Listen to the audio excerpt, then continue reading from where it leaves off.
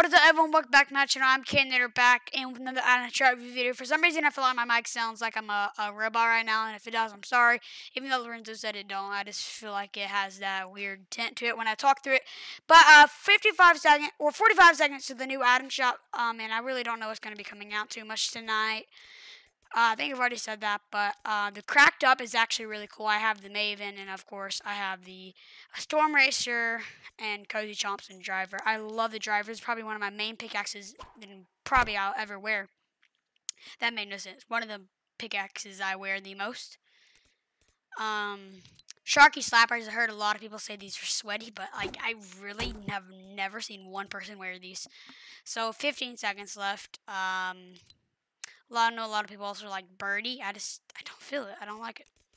But, yeah, the driver is probably the best thing in the item shop tonight. Even though I do like the Maven. Eh. Cozy Chomps did pick up getting that last night. Alright. The pull up. Copyrighted. Uh, Frontier. I feel like this is a rare skin. Brute Gunner, Renegade. Shattered eyes, hand signals.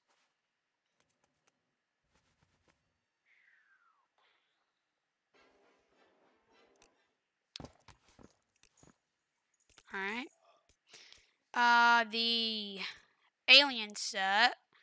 Dominion, Malice, Aura, of course, all this. Heartstopper. Alright, I'll listen to pull up in the background.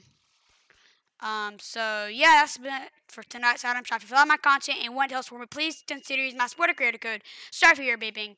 Uh, goodbye. Use this code right here, YT-Kadenater.